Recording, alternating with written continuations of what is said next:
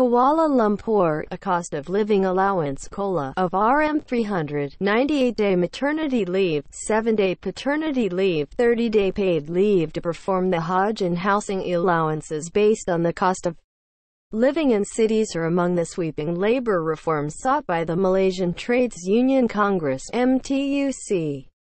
The proposals are among those submitted to the government, which is in the process of reviewing three key labor laws, as promised by Pakatan Harapan in the general election manifesto last year. In what it terms as a bid to bring dignity to the Malaysian workforce, which it claims has not been given the rightful recognition, the MTUC has asked the National Labour Action Council to ensure the government and employers give utmost importance to job security as well as decent work. MTUC Secretary General J. Solomon said the labor laws in Malaysia have become archaic since most of them were promulgated in the 1950s and 1960s.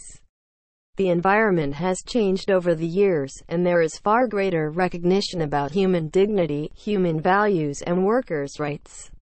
It is long overdue for a comprehensive overhaul of various labor laws. We thank the Human Resources Minister who has initiated a reform of the labor laws under the new government which MTUC has been championing since 1970s, he said in a statement. The three laws that will be reviewed are the Employment Act 1955, Industrial Relations Act 1967 and Trade Union Act 1959. The MTUC's proposals include extending the coverage of the Employment Act to workers earning up to earn 10,000 a month, maternity leave to be raised from 60 days to 98 days, and paternity leave of 7 days.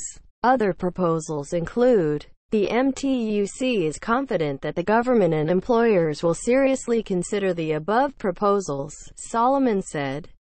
He said Malaysia's aim to achieve the status of a high-income nation not only needed quality workers but also quality employers as the workers' well-being and dignity were important for increased productivity. The need to bridge the income gap cannot be prolonged and all stakeholders need to change their mindset in sharing the wealth of the nation equitably as every Malaysian needs to contribute towards the progress of the nation. Workers too should change their work culture and behavior in view of the need for Malaysians to grow and to have a share of the fruits of a high-income nation. Solomon said. He also urged Malaysian workers to put aside all differences and be united to pursue this cause for the better future of their families. We have waited for 60 years to see these labor law reforms and let's do it together and none should disrupt this golden opportunity. We strongly believe we will realize our dream, he added. More on Microsoft News. 31 Simple Ways to Save Money Every Day of the Month provided by Cheapism.